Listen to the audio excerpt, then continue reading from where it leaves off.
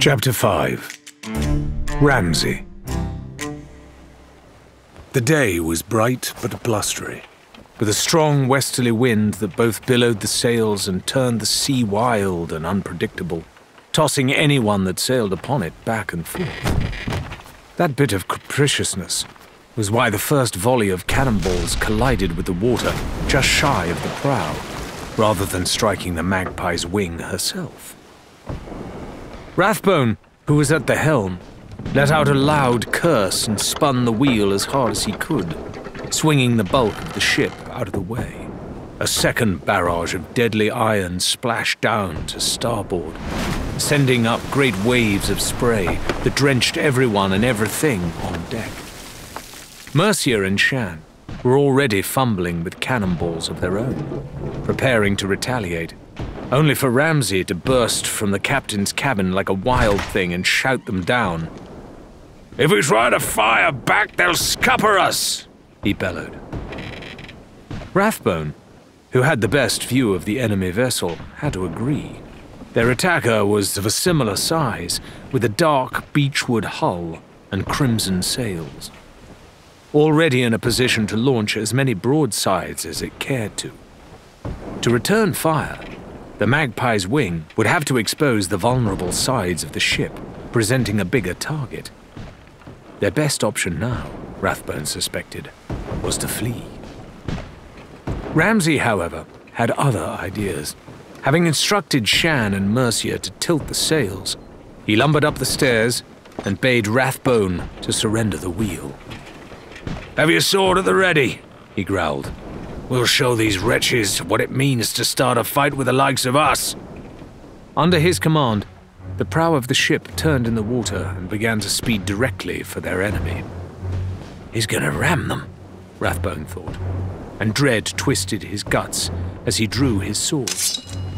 Their assailants had obviously reached the same conclusion, because yet more cannon fire rained down around them. These shots landed even more haphazardly than before, doing little more than rattling the ship's windows, and it was clear that Ramsey's bold scheme had the crew of the other ship in a panic.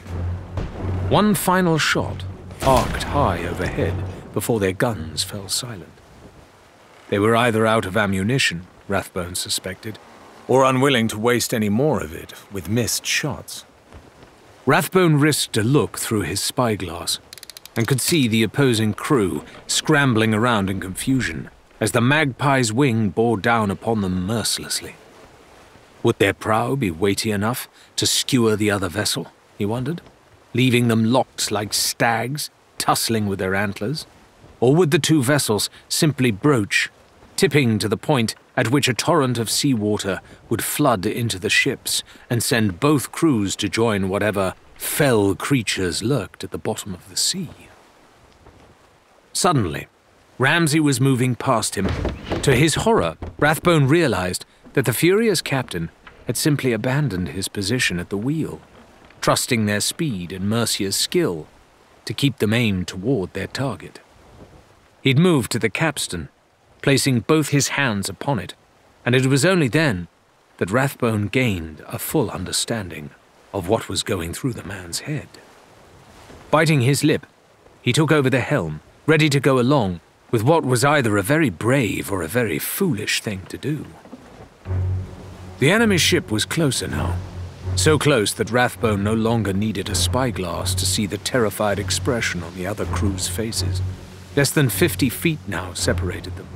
Now, less than 30. Now, at the last possible moment, Ramsey heaved on the capstan with all his might, sending the anchor and its long, heavy chain down into the depths. Rathbone wondered briefly if they might be in such deep water that there'd be nothing for the huge weight to catch onto. But then he heard the familiar thud of metal on rock. It was now or never. The magpie's wing groaned in protest, and Rathbone spun the wheel with all his might as they began to pivot. The anchor's chain was at full extension now, and its pull was transforming the ship's forward motion into a large, sweeping arc. Within a few seconds, they changed from bearing down upon the other vessel to matching her course, side by side, and just a few feet apart. That was when Ramsey leapt. Rathbone found it astonishing that a man of his stature could throw himself forward with such agility, but there was a cold fury behind the move that sent Ramsey soaring across the gap between the two vessels. The pirate closest to the railing found himself taking Ramsey's boot to his chest, knocked helplessly to the ground as the crew of the Magpie's wing began to board. Mercia was next, taking a high dive from the rigging and rolling as she hit the enemy's deck and came up fighting. She pulled a slender blade free from its sheath and began to menace a young deckhand who'd been manning the cannons, but he clearly had no stomach for a fair fight and threw his weapon down almost at once. Mercia considered the quivering figure as he dropped to his knees before her, then cold cocked him so he couldn't cause any more trouble. Rathbone hesitated, not so confident in his own acrobatic ability, but prideful enough to try. His clumsy leap saw him falling just short of the other ship's deck, though his flailing hands were able to catch the rungs of the ladder that ran up her hull. Clambering aboard with his face flushed pink, he spared no time in taking out his embarrassment on the nearest pirate, the luckless man who'd only just picked himself up from Ramsey's first assault, found himself on the receiving end of a flurry of blows that left him dazed and crumpled in the corner. The enemy captain, however, had far more fight in her. Having leapt nimbly from the upper deck, she dropped down on Ramsey, staggering him and bringing her sword around in a blow that he was barely able to deflect with his own blade. You should have run while you had the chance, old man, she hissed, her eyes flashing as their swords danced. Now where's the sport in that? Ramsey shot back, edging closer and closer to the railing as each of the captain's blows forced him backward. Little by little, he was losing ground.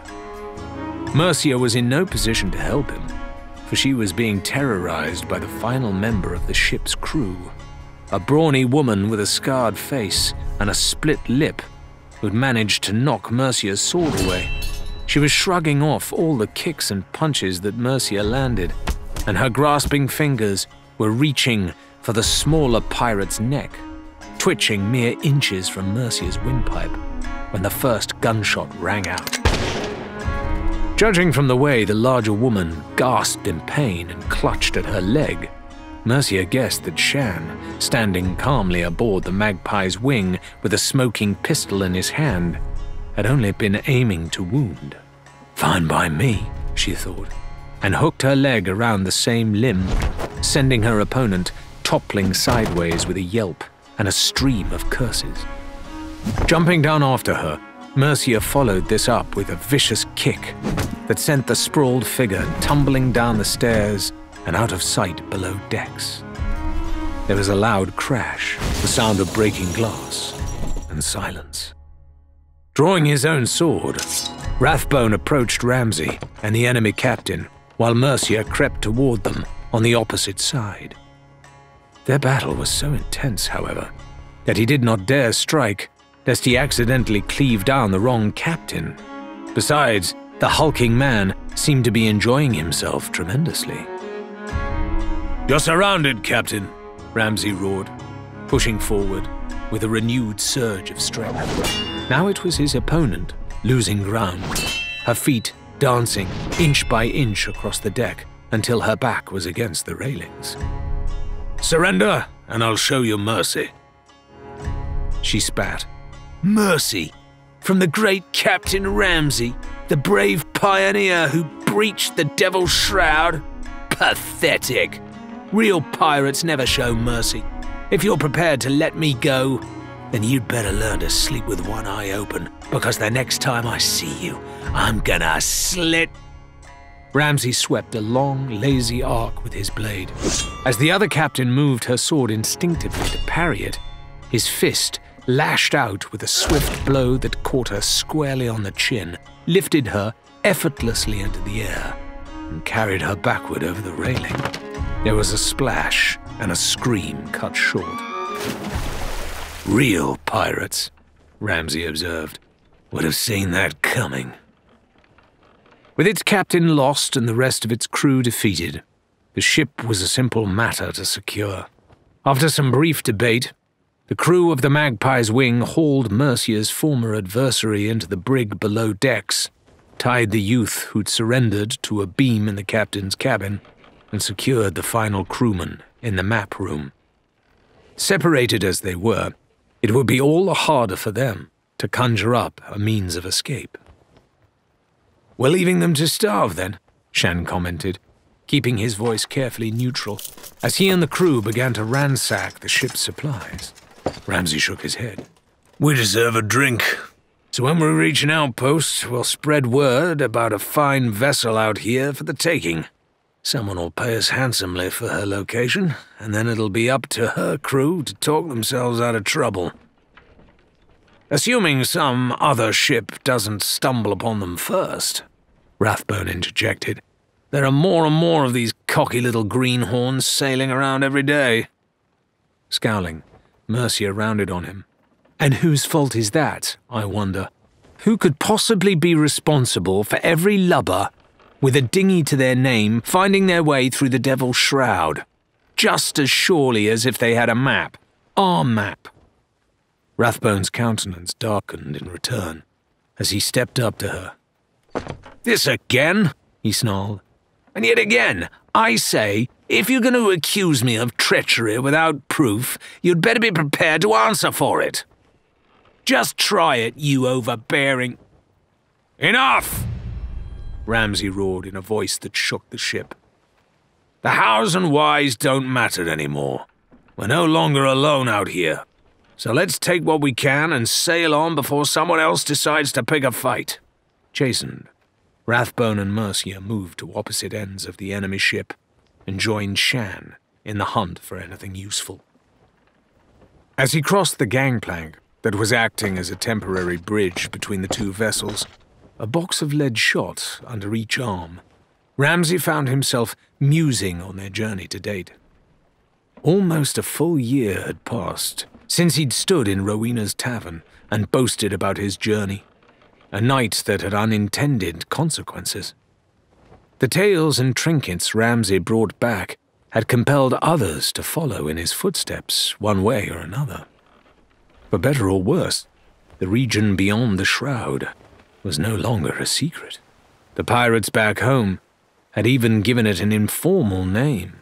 And though Ramsey had snorted disdainfully the first time he heard someone refer to the Sea of Thieves, the phrase had somehow seemed to stick. He supposed he should be angry at the rest of the world for intruding into what he'd once considered his own private paradise. Certainly Ramsey was furious the first time they spotted another ship, and he was ready to blow them out of the water for daring to approach him. But they waved a flag of truce and shared a meal. It turned out they merely wanted to offer thanks and a chance to dine with the famous captain who discovered the Sea of Thieves. He didn't know quite what to make of that. Since then, there had been unexpected encounters wherever they'd journeyed. They no longer enjoyed the luxury of sailing without a lookout in the crow's nest, as they had when they first arrived, secure in the knowledge that they were the most fearsome thing on the waves. Now, just like the old days, they had to constantly scour the horizon for distant sails, lest they be caught unawares. These constant distractions and the knowledge that a treasure left unclaimed today might be resting in someone else's hold tomorrow had served only to harden Ramsey's resolve. If these weren't to be his waters alone, then he'd damn well make sure that he was their undisputed master, and that every other pirate knew it. He'd been relentless in dealing with those who opposed him and wasted no time before detailing his exploits whenever they stopped off at an outpost. Outposts. Now there was something Ramsey had never anticipated seeing out here, though he supposed it was inevitable. previously unspoiled islands had developed first small campgrounds, then crude wooden shelters, and finally boardwalks and buildings. Even pirates needed to make camp from time to time, and others would come along later to build upon what went before, using their unique skills to improve the place whenever they stopped by. There were at least two taverns in this region alone, both run by opportunistic pirates who knew about sugars, fermentation, and everything else that went into a good beer. These pirates had chosen to make their fortune by opening their doors to others, so that they might drink and relax without having to make the long journey home. He had even heard tell of a blacksmith coming to the region in the company of a crew who wanted to keep their weapons sharp and were willing to pay for the privilege. Before long, Ramsey mused, there'd be shipwrights and shopkeepers aplenty all eager to hawk their wares to passing travellers and spare them the danger of the long journey home. All told, the increasing likelihood of bumping into other ships while out on adventures, coupled with his own rising notoriety, had led Ramsey to insist that they find themselves a suitable hideout. They needed a place where they could rest, relax, and repair, something that simply wasn't possible amid the hustle and bustle of an outpost, even if the folks around wanted to do nothing more than share a drink or hear stories. Mercia, true to form, had been keeping a careful log of everywhere that they'd visited and had suggested a number of suitable locations.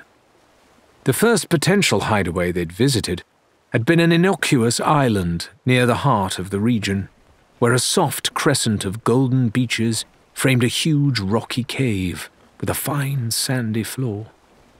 It seemed like an ideal safe harbor, and so they moored the magpie's wing and made camp inside.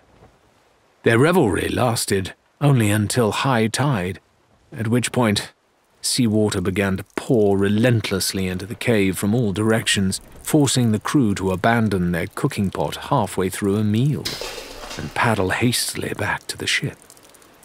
Shan continued to insist he'd seen a shark snacking on their dinner as they sailed away. The second site, an imposing crisscross of rocky peaks surrounding a central lagoon, would have allowed them to hide the ship entirely.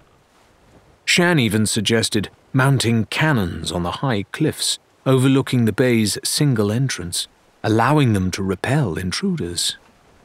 As they approached the island, however, Tendrils of mist began to form around them, and a familiar sourness filled the air. They had to execute a swift about face to avoid sailing any closer, and by morning, the ebb and flow of the Devil's Shroud had swallowed the island up as if it had never existed. Finally, Rathbone reminded them of the high arched cavern where they'd spent their first night in the Sea of Thieves. The entrance was almost invisible, unless you knew where to look, he argued. And they knew from prior experience that there were no ghastly surprises awaiting them when night fell or the storms swept in. He called it a thieves' haven, and the others agreed.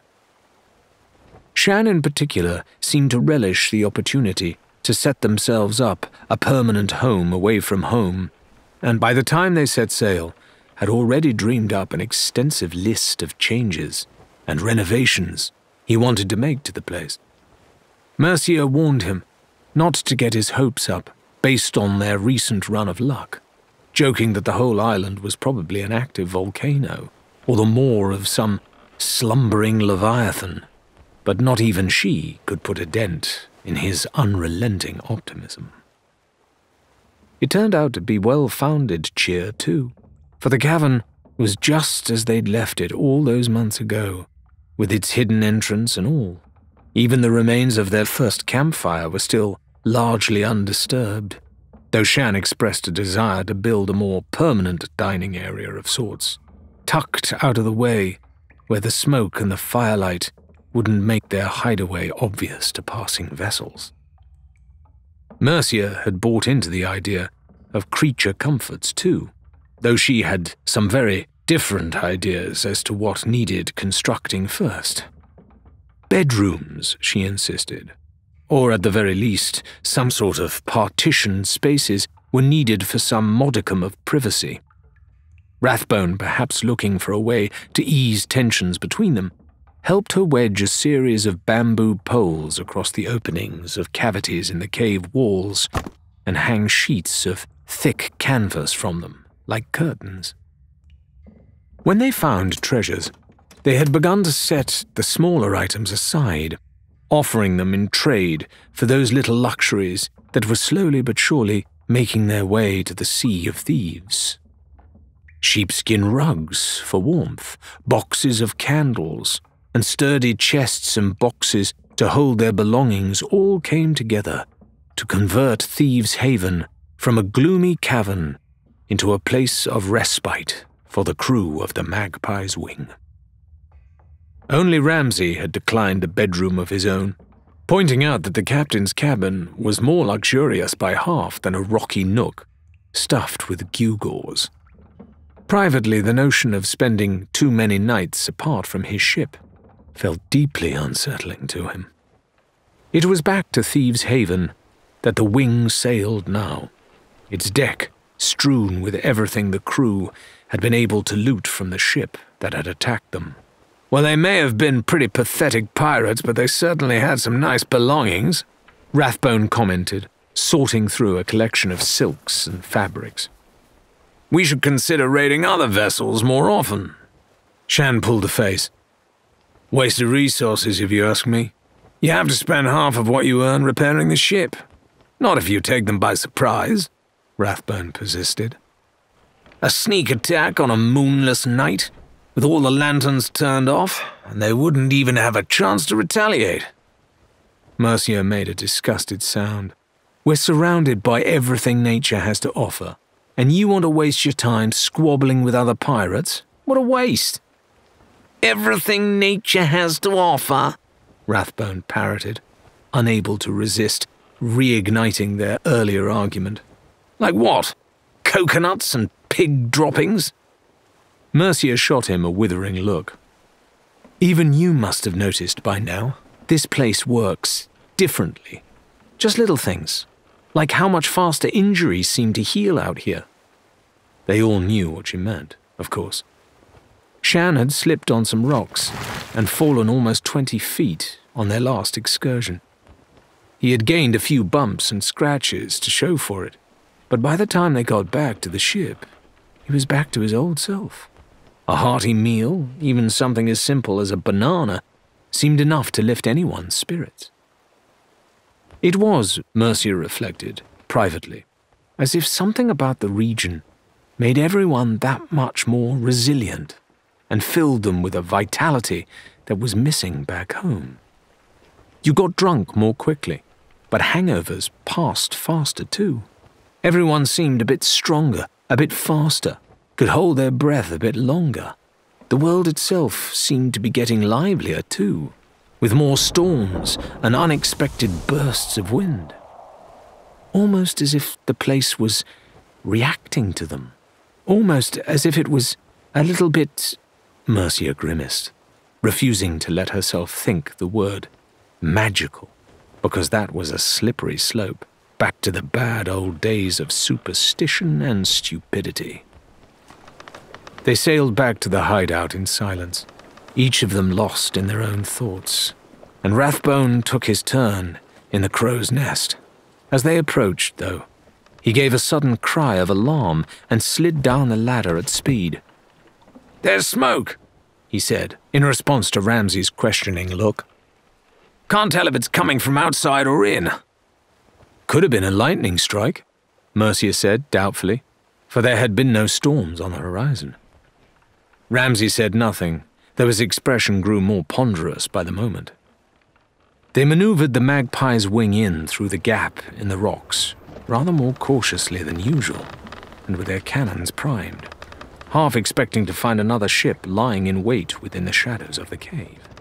There was no ambush to be found, however, and they extended the gangplank just as they always did, stepping one at a time onto the rocky ledge.